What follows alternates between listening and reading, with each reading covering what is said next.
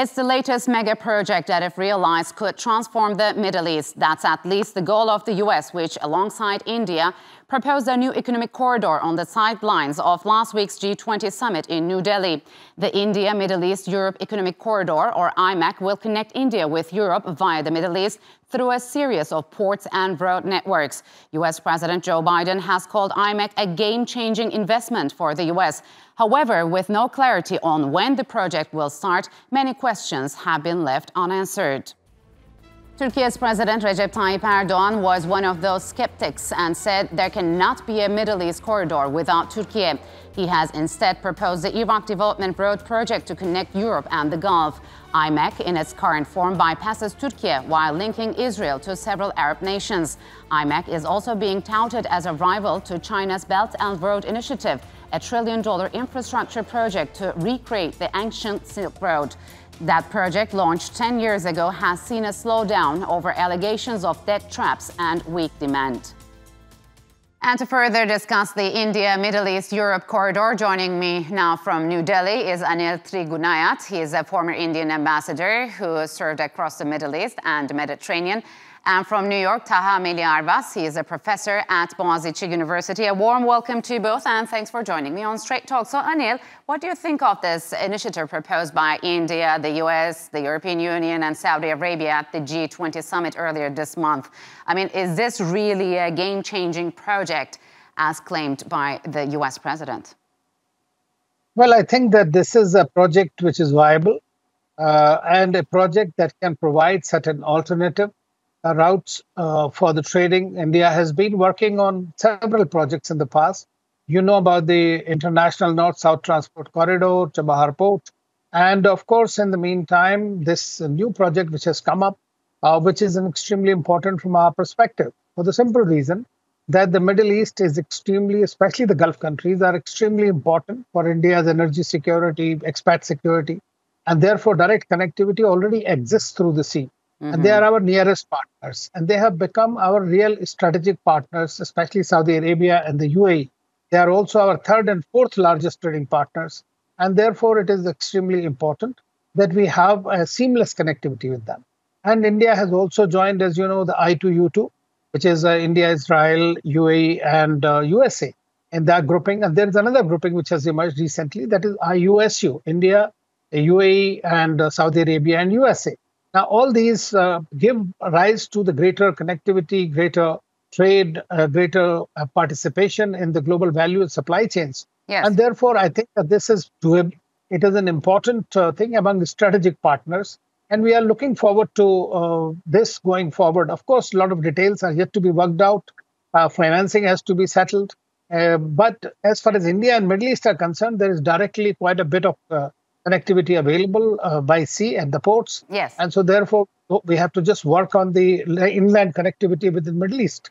So, um, Taha, this project will require billions of uh, dollars of investment and infrastructure work for roads and uh, railways to connect the involved countries. Um, and it said that it is a feasible and viable project. Would you agree? And is it doable under the current global economic situation? I don't think anyone really um, is taking this very seriously at this point.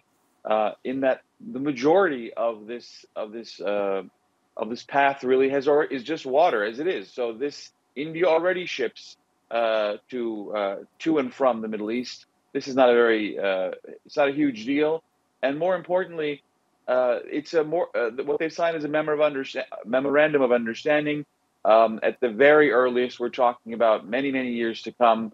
Uh, and this is more about China, frankly, than it is about India. It's about the U.S. Mm-hmm. Uh, and the West really um, threatening China and saying, "Listen, we don't need you. We don't need your uh, corridor. We we have this alternative."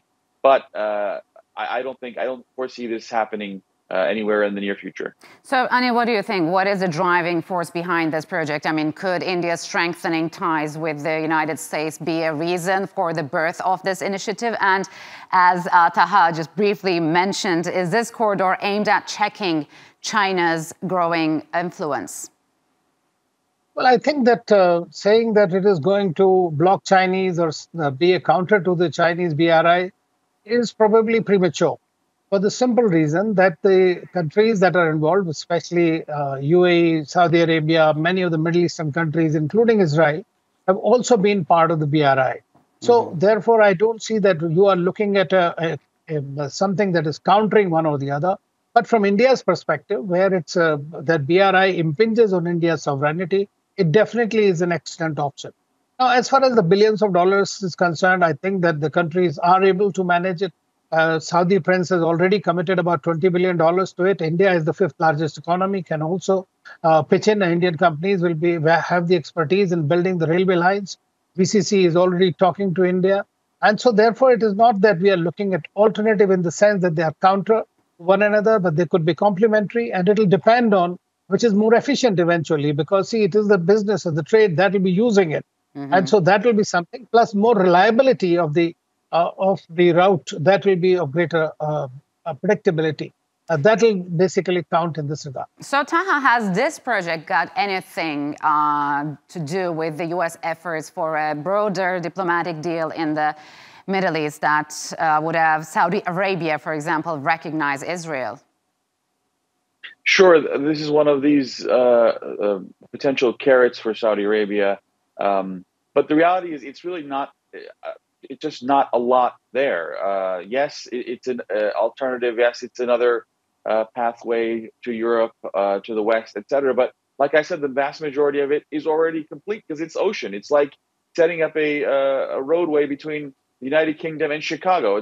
The vast majority is ocean as it is. So um, it's it's great for PR, a couple of pictures, but I think in ten years' time we're not going to be talking about a a, uh, a railway uh, across the Arabian uh, Peninsula to Jordan and Israel. I just don't think it's going to happen. But it, it, there's a Cold War being fought currently, and this is just one of the measures in, uh, I mean, in fighting that Cold War. So, Anil, you seem confident about financing uh, of this project, but uh, what could you talk to us about the Saudi position? Um, and are all Gulf countries fully on board, on board uh, with this ambitious initiative? Well, at the moment, as you know, it is Saudi Arabia and the UAE which have signed up to it. It is, of course, uh, it will go through Jordan and then to Haifa port. Now, let me tell you this one thing is that from India's Mundra port to Haifa port, which is currently owned by India, in fact, it was bought over from the Israelis recently. And so from Haifa only, it will go forward from there. So, as far as India is concerned, that is the position we are looking at it. India has been a maritime power all along, and mm. therefore, for us, it is not a problem. As far as Saudi Arabia and UAE is concerned, of course, they have been talking, GCC countries have been talking for this railway project for a very long time. And uh, not much has come out. Recently, we had this Qatar blockade, and all those things have held up in many of these. But I think they seem to be serious now. I was in Saudi Arabia only last week, and we have had uh, seen and discussions. Now, of course, and like any other project in the world, this is a project which needs to be worked upon. It is an idea, it is a concept. And how that concept will connect the dots is something that needs to be seen. But uh, I think that it is doable, doable because you need those kind of routes. Several routes are needed. It is not necessary that we become dependent only on one or the other project. So even if there is a certain kind of a competition, I don't think that it is possible to do away with one or the other. So if it happens, it will be for the larger good. So, uh, Taha, Turkish President uh, Erdogan has pushed back against the uh, proposed route, saying that there can be no corridor uh, without Turkey. What's the reason behind uh, Turkey's exclusion uh, from such a big project? I think what's really going on is um, people are trying to come up with alternative routes um, all over the world so as to hold it over those countries that are in uh, included in some routes and not. So, for example, this route is a slight to Pakistan. It's a slight to uh, other countries that would have been more feasible or or would have uh, uh been used because of their closeness to China. Uh, Turkey is uh, geographically, as as President Erdogan has said, um, destined to be a route to the west. There really, it's much more difficult to set up this route that we're talking about across the Arabian Peninsula, around along swaths along swaths of hundreds of kilometers of completely desolate areas. Um, it, it's uh, it's just a a uh, an idea as uh, as uh, Mr. Anil had said a minute ago Um, and will it come to fruition? Will it be completed? I, I don't think so. Yes. India itself, while growing quickly, um, is under financial strain as it is. So, so we'll see what happens here. So, uh, Taha, on the other hand, maybe you know, Turkey is uh, close to finalizing negotiations with Iraq, uh, Qatar, and the United Arab Emirates on the Iraq Development Road Initiative. How do you think this right. will come out? And could these projects complement each other, or are they clearly rivals? I mean, what we've seen from the Russia-Ukraine uh, war here is that you need alternatives uh, at all times. You don't need to, you don't want to be dependent on one uh, route necessarily. Uh, this the, the, the the Iraqi route that we're talking about is really uh, um, one which starts from uh, the energy center of the Middle East uh, through Turkey to the west, which is uh, an alternative and is very very important. Um, and I think we with all these pipelines currently traveling through Turkey, Turkey has become an energy hub, and it's very difficult to dismiss it as anything but growing, uh, but, but its growing influence uh, in the energy space here. So, Anil, uh, lastly, uh, if we go back to this IMEC uh, project, is this a very, very effective way to carry goods between Asia and Europe, or do you see any geostrategic concerns in the region? Well, of course, the geostrategic concerns are very much underlying under any of these connectivity projects anywhere. Uh, but as you know, from the in 2000s, we started off working with the Russians and the Iranians on the INSTC projects. Both of them come under sanctions, so there is nothing, no permanency about these things. But as far as India is concerned, uh, we are looking at an alternative that is more viable from our perspective. Of course, each country or the partner there has its own uh, geostrategic considerations. For example, for the Saudis and, uh, and the Emiratis, they are also very close to the Chinese and they are very much part of this project, uh, of their BRI project. So they are not also looking at an alternative in that sense that they'll counter one or the other.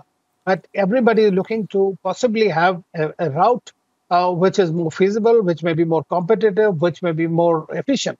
Uh, so it depends if it reduces the uh, the cost and the timing, uh, ship timing by about 40%. That's very good for the trade and industry. So, um, Taha, we know Turkey's opposition to this project. What could Ankara offer as an alternative? For example, could it also become a part of this uh, project when it gains steam in the future? I mean, I'm sure it could, but I think we're, we're so far away from this project even uh, even becoming a serious project. I think it was a great photo opportunity at the G20. I think it was a great way to um, to kind of warn the Chinese we don't need you. Um, we have alternative partners to really, um, you know, give the Saudis some news as if you know we're going to help you build this project. Uh, so we're so far away from it being um, imminent or serious that I don't think Turkey has uh, a problem in, in in suggesting an alternative. Um, and as the ambassador said, we need alternatives uh, all the time anyway. So so no real threat here for existing uh, uh, corridors. All right, gentlemen, unfortunately, we'll have to leave it here. Thank you very much for joining me on Strait Talk.